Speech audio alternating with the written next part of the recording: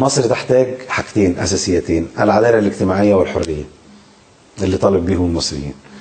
التوزيع العادل للثروة وخطط تنموية تستهدف الفقراء وتستهدف ال ال ال ال الطبقات الأكثر احتياجا آه، وفتح آفاق للتنفس ويتنفس المجتمع من رئات أخرى وليس من رئة واحدة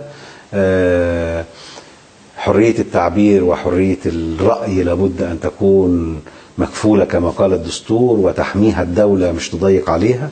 آه، حركة الأحزاب لابد أن يبقى عندنا حيوية سياسية والأحزاب تشجع إنها حتى بما فيها الأحزاب المعارضة إنها تنزل تشتغل على الأرض.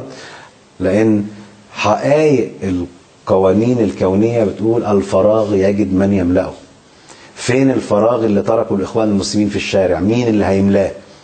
لو انت ما ملتوش هتملاه لو التيار المدني ما ملهوش هتملاه التيارات المتطرفة. فالدولة لابد أن تدرك أن هذا الفراغ لابد أن يملأ بحيوية سياسية بفتح منافذ لل...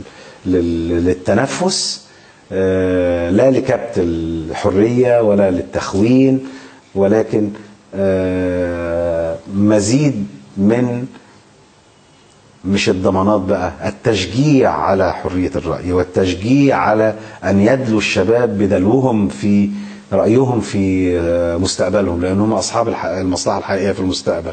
عندنا حاجات كتير جدا محتاجينها بس أهمهم العدالة الاجتماعية والحرية.